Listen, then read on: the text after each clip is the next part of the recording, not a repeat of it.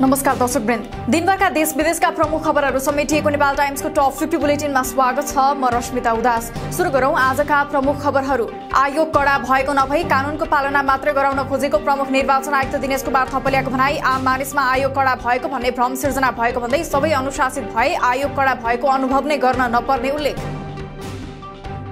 स्थिर समयमा चुनावको प्रचार प्रसार गर्न नपाइने भन्दै सामाजिक सञ्जालमा प्रचारका लागि राखिएका सामग्री हटाउन निर्वाचन आयोगको आग्रह। लाइक कमेन्ट सेयर ट्याग वा प्रति कमेन्ट समेत नगर्न र त्यसो गरे पच्चिस हजार रुपियाँ जरिवाना तिराउने चेतावनी। काठमाडौँ उपत्यकाका विभिन्न ठाउँमा शङ्कास्पद वस्तु फेला। ललितपुरको जाउलाखेल स्टाफ कलेज अगाडि राखिएको प्रेसर कुकर बम नेपाली सेनाद्वारा डिस्पोज। काठमाडौँको हाडी गाउँ र बुढानील कण्ठमा पनि शङ्कास्पद वस्तु फेला।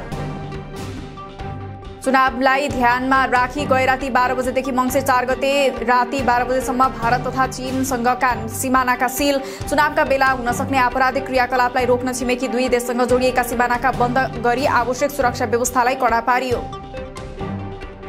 देशभरलाई कभर गर्ने गरी नेपाली सेनाको बम डिस्पोजल टोलीलाई तयारी अवस्थामा राखियो। चुनावको सुरक्षालाई केन्द्रित गर्दै नौ सय तीन बम डिस्पोजल टोली तयार। संवेदनशील अति संवेदनशील मतदान स्थल अनुसारको सुरक्षा रणनीति अप्नाइँदै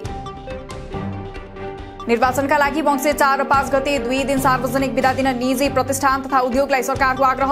दुई दिन सरकारी कार्यालय तथा सार्वजनिक निकायहरूमा सार्वजनिक विदा दिने निर्णय भएकोले निजी क्षेत्रले पनि विदा दिएर निर्वाचनमा सघाउन अनुरोध। निर्वाचनलाई असर गर्ने कुनै पनि गतिविधि नियन्त्रण गर्न सरकार सक्षम रहेको गृह मन्त्रालयको दावी। निर्वाचन बिथोल्न सक्ने सम्भावित समूह र संगठन पहिचान गरेको र कतिपयलाई नियन्त्रणमा समेत लिएको जिकिर। आसन चुनावको सुरक्षा व्यवस्थापनबारे निर्वाचन आयोगका प्रमुख आयुक्त र आयुक्तहरू र नेपाली सेनाका प्रधान सेनापति प्रभुराम शर्मा सहितको टोली बीच भेटवार्ता अहिलेसम्मको निरीक्षण प्राप्त सूचनाका आधारमा निर्वाचनको सुरक्षा चुस्त रहेको प्रधान सेनापति शर्माको भनाई। आसन निर्वाचन पर्यवेक्षणका लागि दक्षिण कोरिया र मालदिप्सबाट टोली काठमाडौँमा आइपुगे। पर्यवेक्षणका लागि भारत बङ्गलादेश र भुटानका प्रमुख निर्वाचन आयुक्त सहितका टोली पनि आउने। प्रतिनिधि सभा सदस्य चुनावका लागि प्रधानमन्त्री एवं काङ्ग्रेस सभापति शेरबहादुर देवाको गृह जिल्ला डडेलधुराबाट स्वतन्त्र उम्मेद्वारी दिएका इन्जिनियर सागर ढकालद्वारा निराहार व्रत सुरु। गैरात स्थिर समय सुरु हुनु अघि व्रत बसेका ढकालको व्रत चार गतेसम्म रहने। अघिल्लो निर्वाचनको तुलनामा यसपटक तडक भडक आमसभा र जुलुस तथा आचार संहिता उल्लङ्घनमा पनि न्यूनीकरण भएको राष्ट्रिय मानवाधिकार आयोग मध्य प्रदेशको निष्कर्ष। निर्वाचन प्रचारमा भने भारतीय नम्बर प्लेटका गाडीहरू प्रयोग गरेको पाइएको संयुक्त अनुगमन टोलीको भनाई। आसन निर्वाचनबाट देशलाई सबै क्षेत्रमा आत्मनिर्भर बनाउने नेतृत्वको चयन गर्न आवश्यक रहेको राष्ट्रिय सभा अध्यक्ष गणेश प्रसाद तेन्दुसेनाको भनाई राजनीतिमा लागेका नयाँ युवा पुस्ताहरूले आफ्नो हस्तक्षेपकारी भूमिका निर्वाह गर्न ठोस एजेन्डासहित आउन जरुरी रहेको प्रस्तुति। वीरगंजबाट नकली मतपत्र र स्वस्तिक छापसहित दुईजना पक्राउ गैराती वीरगंजको सिमानाकामा गाडीमा जाँच गर्दा दस हजार थान नकली मतपत्र र दुई सय पचास थान स्वस्तिक छाप तथा नगद दुई लाख पचास हजार बरामद भएको पर्सा प्रहरीको भनाई।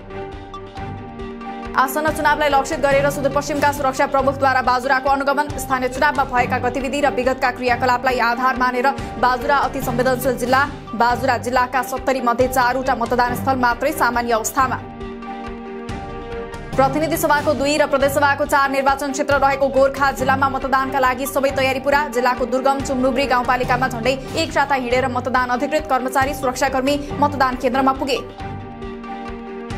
राष्ट्रिय प्रजातन्त्र पार्टीको काठमाडौँ क्षेत्र नम्बर पाँच स्थित निर्वाचन सम्पर्क कार्यालयमा तोडफोड तोडफोडमा पहिले राप्रपामै रहेर पार्टी छोडेकाहरू देखिएको र उनीहरूले कार्यालयमा एमालेको झण्डा गाडेको भन्दै पार्टीका कार्यकर्ताहरूले प्रहरीमा दिए उजुरी। आसन्न निर्वाचनका लागि प्रदेशको पहाडी जिल्ला भोजपुरमा दुई हजार तीन सय बढी सुरक्षाकर्मी परिचालन। जिल्लामा सतासी मतदान स्थल र दुई अस्थायी सहित एक सय सन्ताउन्न मतदान केन्द्र कायम। तीस मिनटभित्र पुग्न सक्ने गरी पर्याप्त सुरक्षाकर्मीको रिजर्भ फोर्सको समेत व्यवस्था। मङ्सिर चार गते हुने निर्वाचनका लागि काठमाडौँमा पाँच हजार सात सय उनासी सुरक्षाकर्मी परिचालन। निर्वाचनको मिति नजिकैसँगै नेपाल प्रहरीद्वारा रात्रिकालीन सुरक्षा जाँचमा समेत कडाई। काठमाडौँ महानगरपालिकाद्वारा बहाल व्यवस्था कार्यविधि बनाउन सुरु। घर बहाल सम्बन्धी व्यवस्थामा कडाई गर्ने उद्देश्यका साथ महानगरले घरधनी र भाडामा बस्ने बीच अनिवार्य सम्झौता गर्नुपर्ने कार्यविधि बनाउँदै दाङमा चक्कु देखाएर अटो चालकको साथ उन्तिस सय बिस रुपियाँ र मोबाइल लिएर भाग्दै गरेको अवस्थामा दुईजना पक्राउ पक्राउ पर्नेमा शान्तिनगर जुम्ले कुलाका छब्बिस वर्ष गोविन्द केसी र तुलसीपुर पाँच बसपाका उन्नाइस वर्षीय आशिष परियार रहेको प्रहरीको भनाई। पशुपति क्षेत्रको गुहेश्वरीमा बनाइने दुई दिने गुहेश्वरी जात्राको लिङ्ग उठाइयो। तलेजु भवानीलाई दुई दिनसम्म गुहेश्वरीमा राखी आज बिहान गुहेश्वरी र तलेजु भवानीको विशेष पूजापछि पशुपति क्षेत्रका विभिन्न स्थानमा गुहेश्वरीको खट जात्रा गर्ने चलन। आज प्रदेश एक बागमती र गण्डकी प्रदेशका पहाडी तथा हिमाली भूभागहरूमा आंशिक बदली रही। बाँकी भूभागको मौसम सामान्यतया सफा। केही स्थानमा हल्का वर्षा र केही हिमाली क्षेत्रमा हल्का हिमपातको सम्भावना रहेकाले सतर्कता अप्नाउन अनुरोध।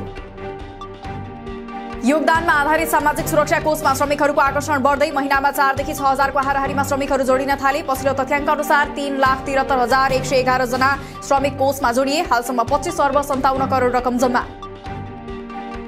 पोखरा अन्तर्राष्ट्रिय विमानस्थलमा हुने क्यालिब्रेसन उडानका कारण पोखराको पुरानो विमानस्थलबाट भइरहेको आन्तरिक उडान प्रभावित हुने पाँच मङ्सिरदेखि बाह्र मङ्सिरसम्म विमानस्थलमा यान्त्रिक परीक्षणका लागि विशेष जहाजले कैयौं पटक उडान तथा अवतरण गर्ने। उडान अनुमति नलिई यात्रुलाई टिकट बिक्री वितरण गरेको भन्दै उड्डयन प्राधिकरणले वायुसेवा कम्पनीहरूलाई गरायो ध्यान आकर्षण केही दिनदेखि केही कम्पनीले टिकट बिक्री वितरण गराई यात्रुहरूलाई अलपत्र पार्ने गरेको भन्दै अनुमति लिएर मात्र टिकट बिक्री वितरण र उडान गर्न अनुरोध। काठमाडौँबाट भोजपुरका लागि उडान भरेको नेपाल वायुसेवा निगमको ट्विनटर काठमाडौँ फर्कियो। विमान सेवाले अर्को विकल्प नदिँदा दुवैतर्फका यात्रु विमानस्थलमा अलपत्र तीन घण्टा विमानस्थलमा बसेर आफू तुम्लिङ टार हुँदै भोजपुर आएको एक यात्रुको भनाई। मङ्सिर बाह्र गतेदेखि नेपाल वायुसेवा निगमले रूपन्देहीको भैरहवा स्थित गौतम बुद्ध अन्तर्राष्ट्रिय विमानस्थलबाट भारतको नयाँ दिल्लीमा उडान गर्ने भैरहवा नयाँ दिल्ली गन्तव्यमा साताको चार उडान सञ्चालनको तयारी। एक वर्षमा सरकारद्वारा नौ लाख तेत्तिस हजार दुई सय तिरानब्बे थान विद्युतीय राहदानी वितरण राहदानी वितरणमा रहेका असहजताका कारण सेवा प्रभावमा बिचौलियाहरूको प्रवेशले समस्या गरेको विभागको स्वीकारोक्ति। उत्पादनमूलक क्षेत्रतर्फ दोस्रो चरणको गत भदौ बिसदेखि कार्तिक एक्काइससम्म सञ्चालित कोरियन भाषा परीक्षाको नतिजा प्रकाशन। भाषा परीक्षामा आठ हजार सात सय पचासीजना उत्तीर्ण। आवेदन दिएका मध्ये चौध हजार त्रिचालिसजना परीक्षामा सहभागी। उत्तरी म्याग्दीको अन्नपूर्ण गाउँपालिका तीन दाना क्षेत्रको अन्नपूर्ण चक्रीय पदमार्गमा पर्ने आकर्षक स्थल रूपसे झरनामा रमाउन आउने आन्तरिक पर्यटकका कारण यहाँको रौनक बढ्दै पर्यटकलाई निशुल्क अवलोकन गर्न दिँदा लाभ लिन नसकेको स्थानीयवासीको भनाई।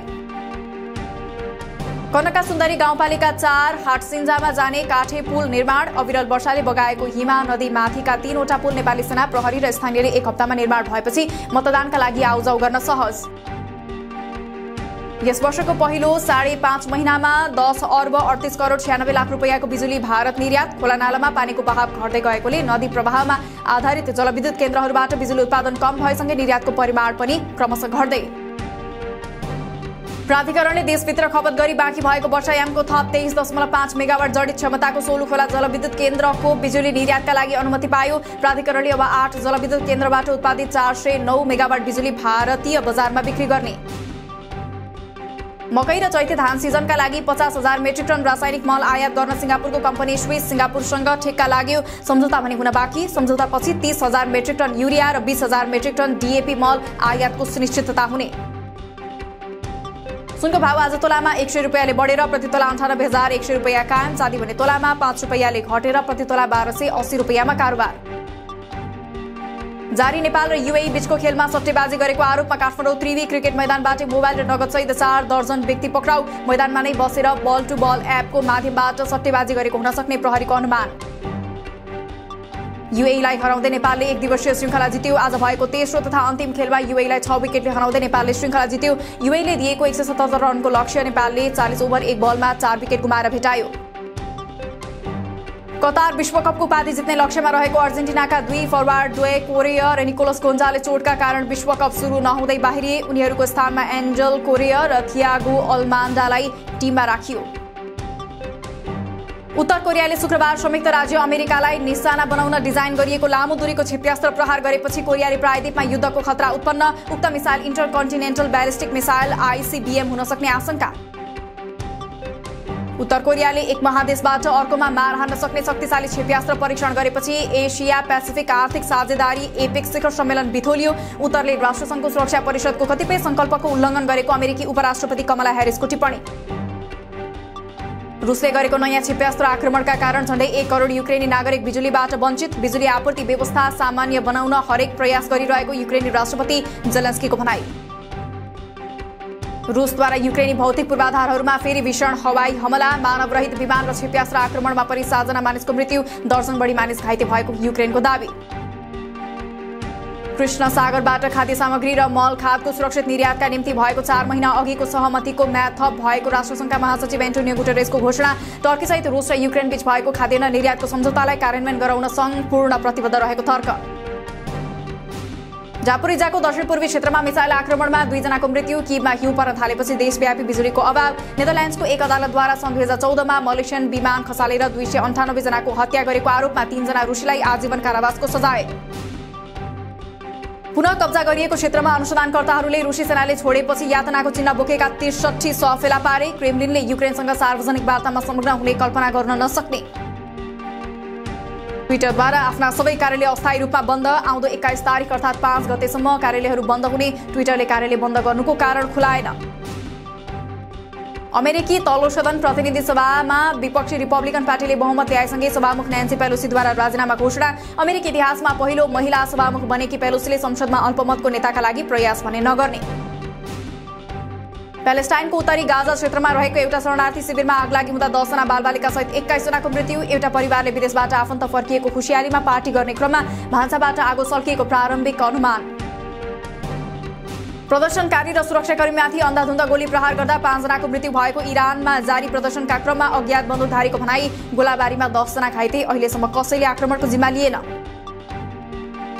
र टाटा समूह एयर इन्डिया लिमिटेडले आफ्नो लगानीमा सञ्चालित चार एयरलाइन्स ब्रान्डलाई आफ्नै कम्पनीमा गाभ्ने अहिले नेपालमा उडान गरिरहेको विस्तारा एयर समेत गाभिने कम्पनी निकट भविष्यमै तीन सयवटा जहाज अर्डर गर्ने तयारीमा।